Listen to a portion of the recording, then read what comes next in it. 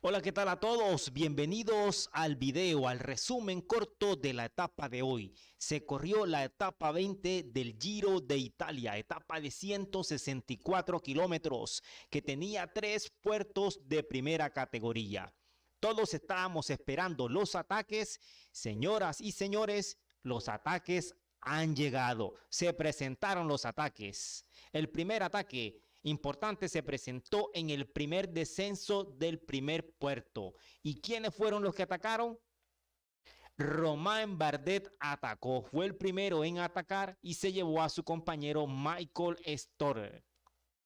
Seguidamente, los otros en atacar. Atención, todo el mundo estaba esperando que Simon James lanzara su ataque, pero no fue Simon James. Ojo, fue el segundo de la general, Damiano Carruso, que también atacó en el descenso. Así es, y se llevó a su compañero de equipo Pello Bilbao. Y estos se unieron con Román Bardet y pudieron llegarle a los de la fuga. Aquí como vemos en pantalla, se unieron entonces estos, estos cuatro corredores, se unieron con la fuga. Pero ¿qué pasó más adelante? Bueno, aquí tenemos las imágenes, vamos a verlo. Bueno, aquí podemos apreciar la fuga con los cuatro. Y aquí está, señores y señores, la fuga, la fuga principal había desaparecido. En el kilómetro 30.6 solamente quedaban estos cuatro corredores que habían lanzado el ataque. Pello Bilbao, Damiano Carruso, Román Bardet y Michael Storer. Ojo, aquí que Damiano Carruso estaba metiendo miedo. Ojo, recordemos que es el segundo en la general y estaba escapado. Tenía unos 44 segundos de ventaja. Damiano Carruso. Y aquí podemos ver también en pantalla el próximo corredor, o más bien el ciclista que lanzó también su ataque. Se trata de Blasot. Lanzó su ataque también aprovechando el descenso, pero ahí venía el grupo persiguiéndolo. Aquí podemos ver quiénes perseguían. Aquí está Jonathan Castro Viejo y a su rueda Egan Bernal y a la rueda de Bernal Simon James. Así es, señoras y señores, Simon James venía ahí pegadito a Egan Bernal. Pero atención, se estaba quedando Daniel Felipe Martínez. Ojo, gregario de lujo de Egan Bernal. Aquí podemos apreciar ya cuando Jonathan mira hacia atrás, ve, está mirando hacia atrás, ve que están llegando otros corredores, baja el paso.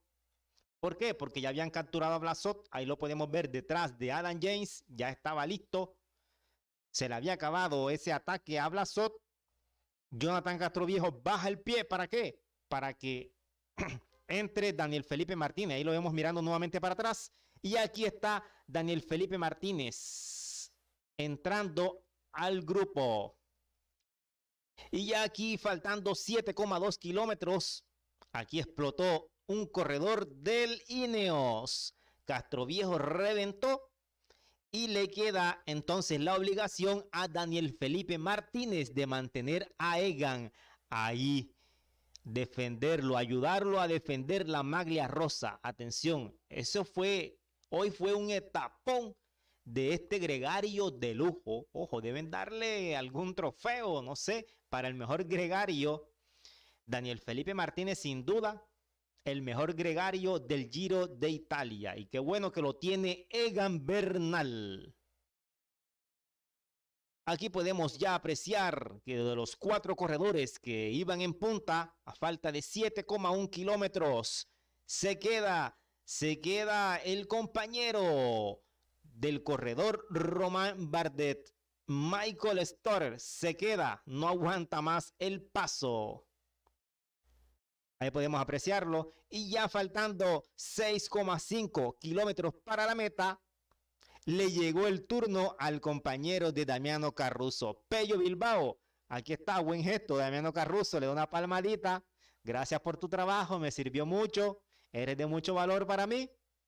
Le agradece pero quedan entonces ya en solitario Damián Carruso y Romain Bardet a 6.5 para la meta con una ventaja de 40 segundos. Aquí viene, atención, Allá atrás en el fondo podemos ver que viene sufriendo Hugh Carty. Así es, a falta de 3,7 para la meta. Hugh Carty viene sufriendo. ¿Por qué? Porque el gregario de lujo, el gregario de oro de Linios, que está acompañando a Bernal, Daniel Felipe Martínez, viene tirando como una moto. Así es. Y se, aquí podemos ver. Hey, devuélveme la imagen, por favor un poquito más, un poquito, otro poquito, aquí, sí señores, aquí podemos apreciar que ya Hugh Carty no va detrás de Blasot. Eso es totalmente claro, ya Hugh Carty ha perdido la pelea y también se están descolgando Joao Almeida y Blasot, un poco se están descolgando. Es que ese ritmo que puso hoy Daniel Felipe Martínez es un ritmo de campeón, tremendo gregario, tiene líneas Tremenda compañía para Egan Bernal. Y aquí vemos sufriendo ahora a Blasot a 3,2 kilómetros para la meta. Le tocó el turno a Blasot. Sufrimiento para este corredor que empieza a quedarse. Y aquí, señoras y señores, el gregario de lujo, ojo, Daniel Felipe Martínez venía poniendo un paso supremamente potente para impedirle a Adam James el ataque. Adam Jace venía colgado, pero de un hilito, gracias al gran trabajo de Daniel Felipe Martínez, que venía poniendo un paso duro, duro, fuerte, y eso impidió que Simon James lanzara su ataque. Y aquí en el sprint, en este sprint intermedio, eh, Daniel Felipe Martínez baja un poco la velocidad y es Egan Bernal el que pasa de primero y se lleva un segundo. Ojo, porque los de la fuga habían cogido 3, 2, y un segundo, eso. Damiano Carruso cogió tres segundos, Román Bardet cogió dos y Egan Bernal cogió el último segundito de ese sprint bonificable. Si ve, tremendo gregario de lujo que tiene el Ineos y que está acompañando a Egan Bernal. Véalo cómo trabaja, véalo, Dios mío. Se robó todo todas las miradas hoy este gregario. Vea, falta de dos kilómetros para la meta, ya tenía 19 segundos a los dos punteros. Y acompañando a Egan Bernal, que es lo mejor de todo. Aquí ya podemos apreciar, vea, el ataque de Damiano Carruso. Damiano Carruso que se le desprende a el corredor Romain Bardet, lo deja sembrado, totalmente sembrado a Romain Bardet. Y aquí podemos ver en cola de pelotón, a falta de un kilómetro, coma nueve para la meta, cómo sufre Simon Jace. Véalo sufriendo. Qué ritmo que impone el colombiano Daniel Felipe Martínez. Aquí lo podemos ver. Se queda. Sí, señores, se quedó Simon Jace. Y a falta de un kilómetro punto uno, vea qué ritmo del colombiano, de los dos colombianos que dejan también a Joao Almeida, lo desprenden totalmente. Ahí se ven claramente dónde se queda. Qué gregario de lujo, Dios mío, Daniel Felipe Martínez. Véalo. Qué trabajo. Último kilómetro aquí podemos apreciar para Damián Carruso, que tiene una ventaja de 24 segundos ya Uy, aquí van a cazar Daniel Felipe Martínez. Le va a dar cacería a en Bardet. Entran también en el último kilómetro. Y aquí podemos ver claramente que Daniel Felipe Martínez se abre. Deja a Egan Bernal en solitario. Dije, bueno, Egan, hasta aquí te traigo. Y ahora te toca a ti, mi hermano. Tú puedes y ya trabajo. Así es, lo deja ahí a boca de jarra y Egan Bernal sobrepasa a Román Bardet, lo sobrepasa y va para la meta. Aquí podemos apreciar allá el corredor de adelante, Daniel Felipe Martínez, después sigue Joao Almeida y el último corredor es Simon James. Así que solamente quedan en punta dos corredores. Aquí podemos apreciar cuando Blasot está llegando al último kilómetro y aquí listo, el triunfo de Damiano Carruso. Así es, el segundo en la general, descontándole tiempo a Egan Bernal y cogiendo la máxima bonificación. Triunfo para el italiano, cruza la meta. Y aquí viene también, tenemos la llegada de Egan Bernal, atención, que se metió segundo en la etapa en el día de hoy y también bonifica. Óyeme, ¿y quién fue el tercero? Aquí viene, señoras y señores, el gregario de lujo, el que se robó todas las miradas. Bueno, se la ha venido robando en estas últimas etapas el gregario de lujo, el gregario de oro de Líneos y que está ahí acompañando a Egan Bernal. Daniel Felipe Martínez se ha metido tercero en la etapa de hoy. Se mete en el podio de la etapa, señores y señores. Qué gregario. Ahí es y también recibe bonificaciones. Entra Roma en Bardet y allá atrás viene Joao Almeida y mucho más allá atrás Simon James. Y así ha quedado la general.